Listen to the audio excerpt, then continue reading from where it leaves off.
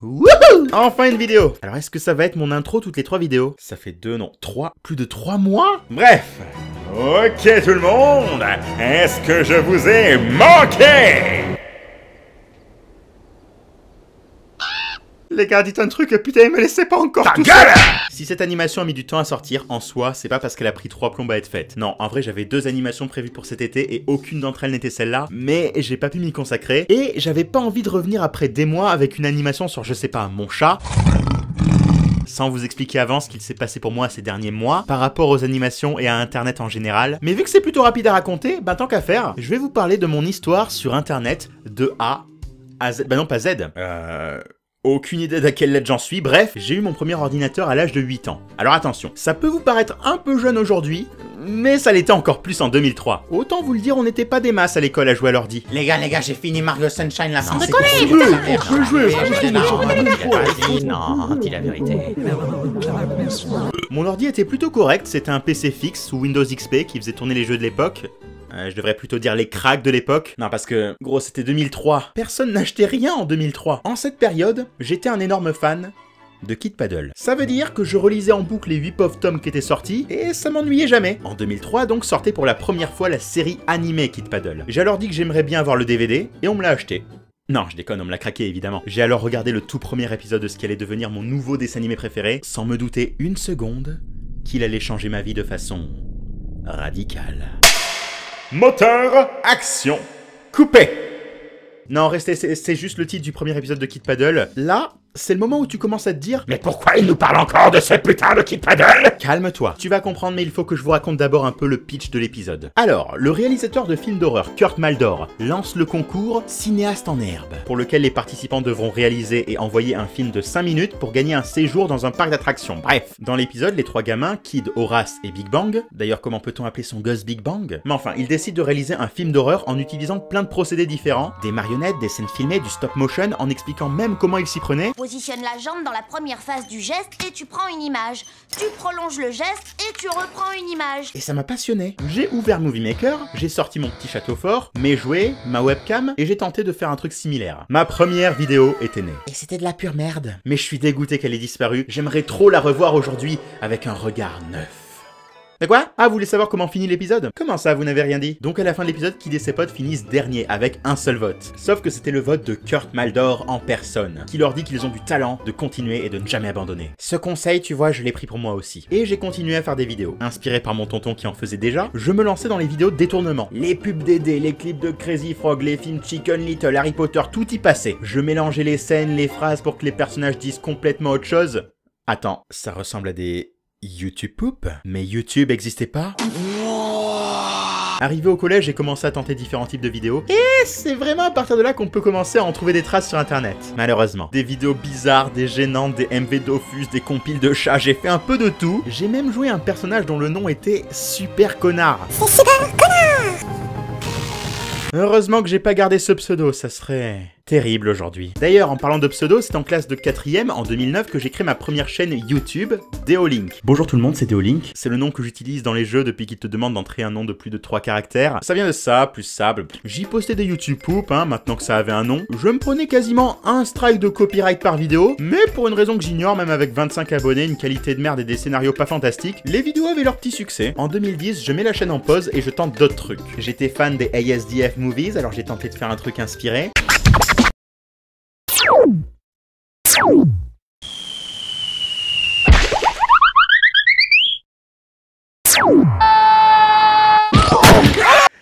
Suite à ça, je me suis dit, ok, je ne ferai jamais d'animation. Puis j'ai tenté des vidéos random, seul ou avec des potes. Regardez, regardez. Un serpent. Regardez cette tête rouge.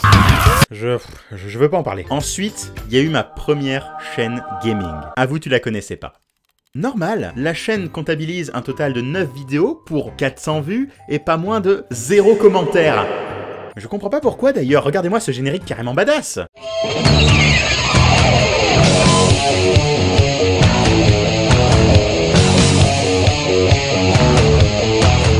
Salut, c'est le rageux. Waouh Ok, je comprends. Attends, c'est quoi? Attends, c'est quoi ça? Bonjour à toutes et à tous, c'est l'orageux. ok, d'accord gros. Si tu veux mon générique, je te l'offre, c'est cadeau. Allez bref, en 2014, j'arrive à la fac, fac de lettres, licence art du spectacle. On peut dire que j'avais du temps libre. Je décide donc de reprendre les YouTube Poops sur ma première chaîne Deolink. Je devais avoir une petite centaine d'abonnés. Qu'est-ce que vous foutez là les mecs? J'ai posté une vidéo, elle a plutôt bien fonctionné. Bon par contre j'ai encore bouffé un strike, mais pour contenu sexuellement explicite. Oh qu'est-ce qui a changé en 5 ans? Putain c'était ça avant les YouTube Poops Après ça j'en ai fait quelques autres, puis j'ai commencé à vouloir faire du doublage. Genre vraiment. Du coup, je voulais euh, travailler ma voix. Alors j'ai fait du roleplay sur des jeux Pokémon, puis du gaming en tout genre, jusqu'à ce moment où j'ai lancé mon let's play sur le jeu Yandere Simulator, et que la chaîne a commencé à se faire connaître. Je me suis rendu compte que j'étais de plus en plus à l'aise devant un micro, et que je pouvais vivre de mes vidéos. J'ai comme eu l'impression que YouTube me dirigerait plus facilement, ou du moins plus agréablement, Vers le métier de doubleur. que ma licence de théâtre. Donc j'ai lâché la fac, de toute façon ça me saoulait, et je me suis lancé début 2016 dans ma première année en tant que vidéaste professionnel, sachant que j'étais vidéaste amateur depuis presque 13 ans sans avoir envisagé avant d'en faire un métier. Ah la vie. Au bout d'un an. J'ai eu comme une phase un peu ras-le-bol, j'avais besoin de faire d'autres trucs sur cette plateforme. Et après plusieurs mois passés sans trop rien foutre, du jour au lendemain, j'ai ressorti ma tablette Wacom Bamboo et j'ai fait un dessin, puis un deuxième. Puis j'ai voulu apprendre l'animation. J'ai alors regardé des tutos sur YouTube pendant deux mois, et voilà. Deotoons était créé. J'ai sorti nerveusement une première vidéo, super bien accueillie. Puis une deuxième vidéo, super bien accueillie. Puis une troisième vidéo, super bien accueillie. Je me demande comment va être accueillie celle-là, mais je ne sais pas comment remercier toutes ces personnes qui ont parlé de la chaîne autour d'eux, si ce n'est en continuant mes animations et en en postant bien plus régulièrement. Mais voilà il y a un hic. Je pensais être capable de gérer deux chaînes YouTube en même temps,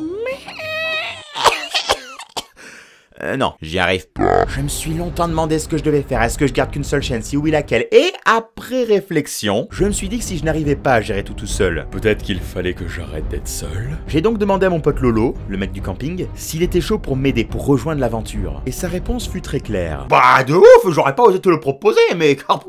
Il s'occuperait donc de 80% des montages sur mes vidéos gaming, et ainsi, j'aurai enfin le temps de faire de l'animation. Tout semble alors réglé, sauf que non, plusieurs problèmes se posent encore.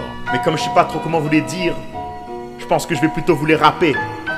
Tu sais, je sais toujours pas rapper, je sais toujours pas non plus utiliser autotune. Mais je m'en bats les couilles.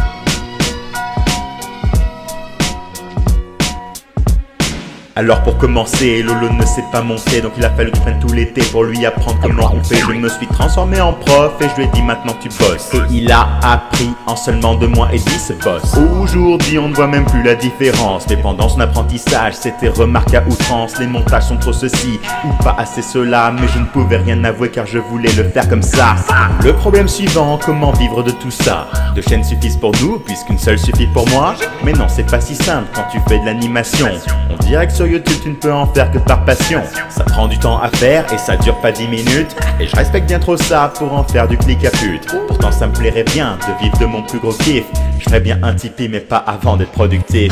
Allez, troisième problème, et je crois bien que c'est le dernier. Notre matos pue la merde, on est en mode système D. S'il y a un seul truc qui lâche, ça serait tellement la galère. Mais avant de changer des trucs, nous faudrait déjà de salaire. Mais malheureusement, je crois que YouTube nous fait la gueule. Monteur, étudiant et caissier à Lidl, Lolo est forcé de porter ses trois casquettes. Et moi de garder mon micro naze et ma vieille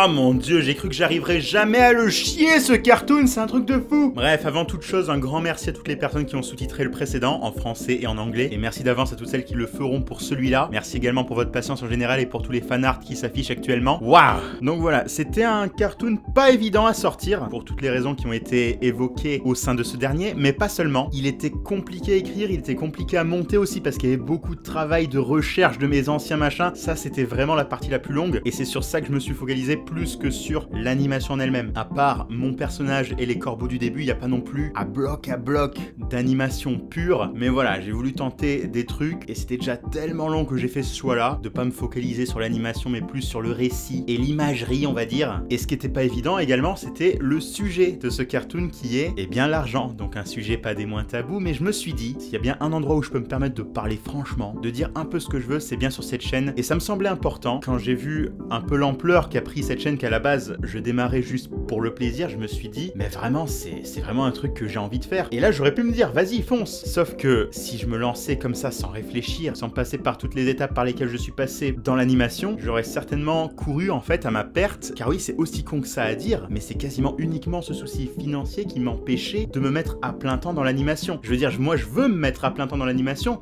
sauf que comment est-ce que je vais payer mon putain de loyer? Donc voilà, il y avait des trucs à réfléchir, des trucs à mettre en place. Pour ça que ce cartoon parlait de tout ça. Et là, en gros, vous avez compris que avec Lolo, on a un système là qui nous permet de vivre tous les deux en galérant un petit peu avec la chaîne gaming. C'est-à-dire qu'on partait du principe que la chaîne d'animation ne rapporte rien, ce qui n'est évidemment pas vrai, mais c'est pour les calculs. On part de ce principe-là, vu que c'est pas une chaîne qui génère non plus énormément. Et en fait, on a calculé quel pourcentage moi je pouvais filer à Lolo pour qu'avec son deuxième boulot, on arrive tous les deux à vivre. Et voilà. Ça a été un bordel, mais on a réussi. Et vraiment, j'avais à cœur de mettre ça en place pour pas me dire tout simplement, je vais lancer un Tipeee et le Tipeee va nous sauver. En gros, ça va être easy. Ça, tu vois, on peut pas savoir. Et moi, j'aime bien avoir un plan B. Donc pour l'instant, on fait comme ça. Comme vous l'avez compris, un jour dans le futur, je lancerai un Tipeee quand j'arriverai d'après moi à être productif. Donc qu'est-ce que ça veut dire productif pour moi? Ça veut dire me mettre à fond sur l'animation et réussir à sortir des cartoons en moins de 3 semaines. Pour moi, même 2 semaines, c'est faisable. Et quand j'arriverai enfin à le faire, là seulement je lancerai le Tipeee. Alors je sais pas quand ça sera, peut-être la prochaine vidéo, peut-être dans deux vidéos, peut-être dans trois vidéos, je sais pas. Mais dès que je pourrais me dire, là j'ai réussi à faire une animation de A à Z en 2 semaines, je peux assurer, sauf exception, maximum 3 semaines, un truc comme ça. Là je pourrais me dire, ok, je peux accepter de recevoir des dons, j'aurai pas la pression parce que ça fait des mois que j'ai pas sorti de vidéo, voilà. Et donc ce Tipeee, à quoi il servira? Eh bien, moi si vous voulez, mon but, idéalement, ça serait de vivre uniquement de ma chaîne d'animation avec les revenus pub et les dons. Comme ça ensuite de mon côté, je pourrais me permettre de bien rémunérer Lolo avec la chaîne gaming et il aurait plus à taffer à Lidl et on bosserait vraiment en équipe, même sur les deux chaînes parce que ce mec dessine super bien et du coup, j'aimerais bien à l'avenir pouvoir le rémunérer si par exemple il me fait un fond pour une scène ou carrément un personnage que je mets dans l'animation. Ça, ça serait génial d'avoir comme ça des petites touches qui sont pas du tout de moi. Ça servirait également à m'acheter une putain de Cintiq. Ça, c'est mon rêve, avoir une Cintiq. Parce que la Wacom Bamboo, je t'avoue, elle est sympa, mais là, j'ai l'impression de perdre du temps en fait. Je, je, perds tellement de temps à refaire mes traits parce que c'est jamais le mouvement que je veux faire, enfin, ça me saoule. Donc voilà, j'adorerais me payer une Cintiq, mais bon, c'est quand même